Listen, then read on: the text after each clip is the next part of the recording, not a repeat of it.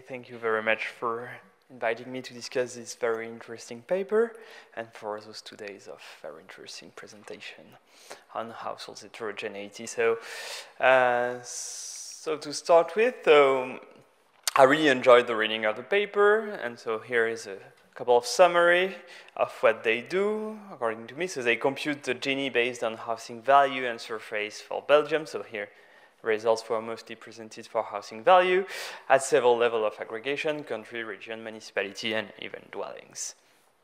And second, uh, after providing us some description and feeling about how the inequalities in the housing stock might probably reflect the real uh, inequalities between households, they then investigate the impact of a reform of what we could call the transfer tax or stamp duty in uh, housing economist languages. So for me, it's very promising papers, and actually many, maybe, maybe uh, more promising papers with an S, because I think it raises many interesting questions and maybe too many interesting questions for one single paper. So I see here one paper investigating the relationship between housing, the, what does housing stock look like, and income inequality. And I think this is already a very first important contribution for the literature that has not been investigating so far and would deserve a paper by, by C.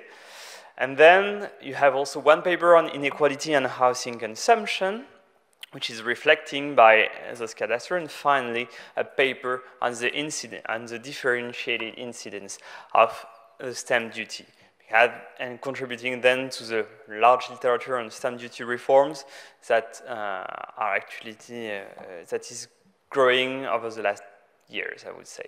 So this, this, this presentation is just to provide some feedbacks, comments to push the author to go uh, further in those three directions.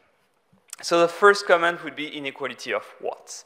Because as we saw, we had a very nice descriptive statistics at very different level of aggregation, starting from the cadastre. One issue with this cadastre is that you observe the dwellings, their characteristics, but you have no idea, and unfortunately, because this is the purpose of the cadastre, so I'm pretty sure this information are inside but were not transferred to the researcher, but you don't know who owns those dwellings. This information is probably here, and actually maybe just uh, some push from the National Bank could help the author also to get this extra column to tell us more interesting things or further things about inequalities. So they are talking about housing inequalities starting from the stock. So inequalities, it's uh, housing inequalities, it's a complex, uh, it's a complex uh, object, and actually, so there is first the notion of inequalities that Actually, there are many ways, different ways to measure inequalities. You can use Gini, variance, Theil, entropy indexes, and so forth. And this is really not my specialty, so I won't talk too much about this specific part. Then there is the concept of housing. And housing is very, very, very fascinating and very complicated. Each time you think about housing, you have many different functions that can come to your mind. It might be, and like, let's start to the two simplest one. It can be a capital good for its owner. It's just an asset with a price P that enters the wealth of the owner. So might be maybe this housing inequalities of the stock will reflect the inequality of wealth, but it has also a return R, which is a net rent. Okay, so then, and then this rent, what is it? The rent is the, consum the consumption part because housing is also a consumption good. So it's also the consumption of the guy that, or the household that is living inside. And it provides a service which is usually measured in national accounts by the gross rent if you're a tenant or your imputed rent if you're an owner. And on top of that, housing is also a composite good, which is composed of a land, okay, where your housing is located, what is the value of the parcel you're located in, and a structure. And so both of those components have very different properties. So the location of your dwelling is something that cannot move, and its value is associated with what applies to these specific areas. Zoning, schooling, taxes, subsidies, pollution, regulations, uh, and your neighbors, okay? What are the impact of the other guys on yourself?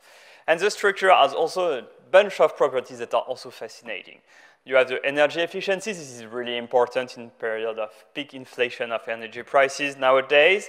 You have also the depreciation of this capital following you are living in a building of the 70s or a very modern building. So its uh, uh, maintenance might be very of a different cost. You are also exposed to noise following your uh, how you should uh, how you should isolate the buildings, and you have an interesting dimension that is accounting for the author, the surface you are consuming, which is also kind of important as you can have overcrowding problems, undercrowding problems, and thus it also reflects a, a particular aspect of housing that you're consuming.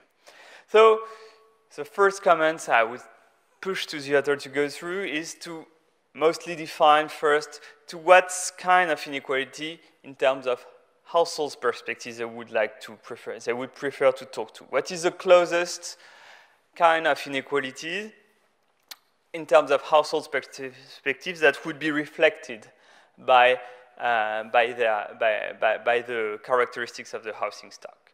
So is this inequalities in terms of income? Is this in terms of consumption? Or is this in terms of wealth? My guess is so far the closest is, uh, is, on, is on income or consumption, or probably more consumption. But then there are some adjustments to make. First, so because the unit of observation is a dwelling. So a dwelling is usually occupied by a household, absent the vacancy rates. So you can say, okay, this is gonna be the value of your dwelling or the surface of the dwelling will be very, very much correlated with housing consumption. But the unit of consumption of uh, housing consumption is usually the rent. And here they are measuring it with the price. Okay, if you think that the rent price ratio is homogeneous across all Belgium, that's all right. But usually it's not the case. There are huge spatial variation in rent price ratio that has been documented in the literature that I would strongly recommend to homogenize everything and rather focus on rents. Then when you have the unit of measurements of the surface, it's also consumption, so I think it's all right. And you have many amenities that are that are many values of your dwellings that is associated with this consumption. So unfortunately, there is no information of, on ownership, so this limits the capacity of the authors to say something about uh, wealth inequalities.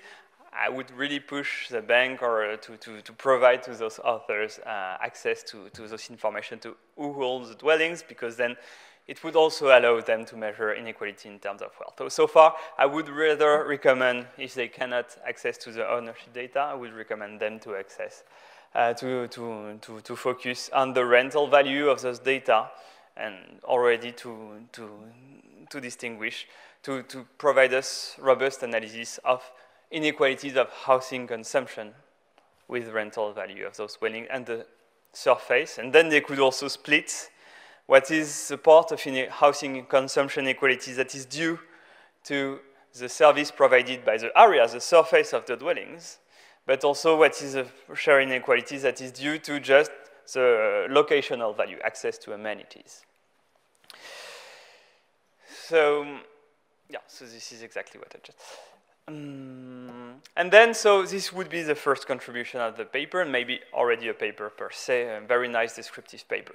Then there is a question of how much inequality in housing consumption, or the information you can gather from data, data can maps in inequality in income, which is something that the authors look very concerned about. So you can assume that housing inequality might be a proxy for income inequalities, so here, there are some papers that argue that housing is a, a, is a constant share in consumption. This is usually very debatable in the literature, as usually we will uh, assume homothetic when we, we are looking at, uh, at housing utility function, which with a housing component. So utility function tends to be uh, non-homothetic, and constant share would assume homotheticity. So uh, I would really recommend to take this issue seriously, maybe develop a small model of housing consumption with a non-homothetic utility and shows how this maps, how variation in income will map into different, into different variation in housing consumption in order to be able to back down whether in particular like measurement in inequalities in consumption would constitute a, a, faithful reflection of inequalities, whether it would be a lower bound, upper bound, how the measurement would be biased. And also this would, I think, constitute a very promising paper, a very interesting contribution, in order to then, once you validate your method on one given country, and then you go to another country where you don't have any information on income, but you have on the, with the cadastre, then you could infer also directly income inequalities information from the housing consumption inequality. And I guess it's also a very, very promising project. And finally, the last, uh, the last contribution of the paper is to focus on stamp duties or transfer tax. So in this literature, so actually there has been a lot of recent papers that have been trying to understand what was the impact of transfer tax on the real estate market.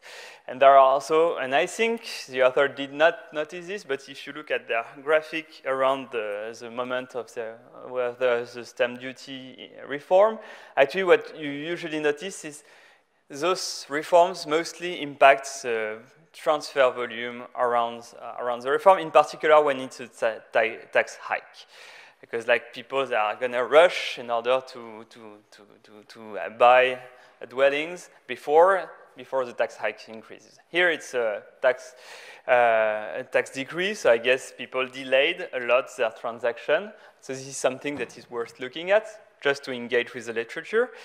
And then there is a large literature on the welfare cost of those taxes, which are transaction taxes that tends to reduce household mobilities, generate friction on the employment market, also affect the trade-off between renting and owning a home.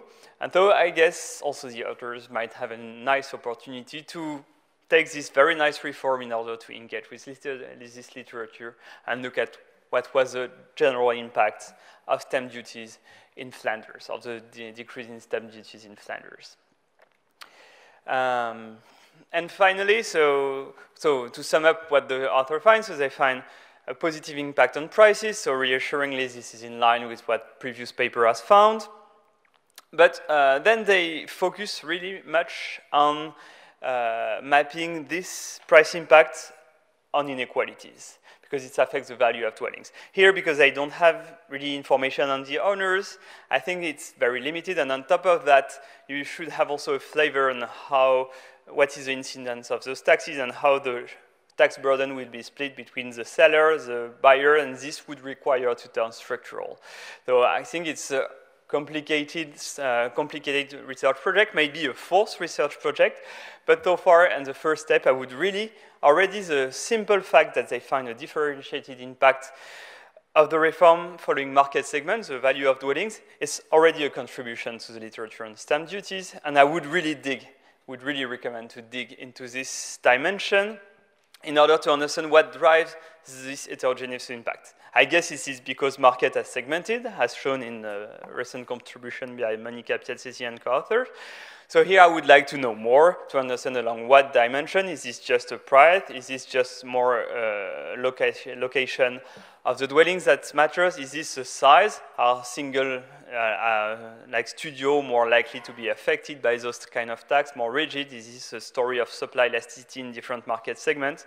This is really something I would, I would know more about, and I think pretty exciting. So I really thank the authors to give me the opportunity to discuss this paper, the Bank of Belgium, and I really look, I'm really looking forward to see what those three papers are going to become. Thank you very much.